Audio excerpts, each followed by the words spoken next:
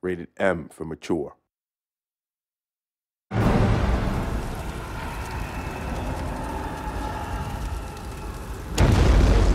Estan Plains.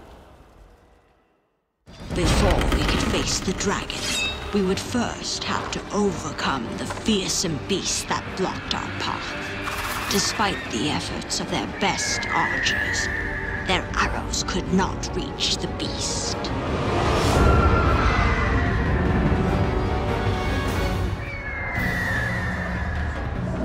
Savan knew that it was only a matter of time before the griffin would need to eat.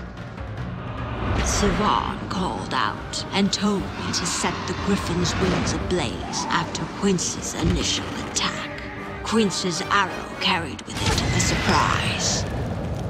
The time had come to summon a devastating spell. The griffin brandished its claws, prepared to strike. For a moment, Savan seemed doomed. But the loyal Pawn Sald would not allow harm to come to his master. Quince called out to Savan, advising him to deliver the final blow.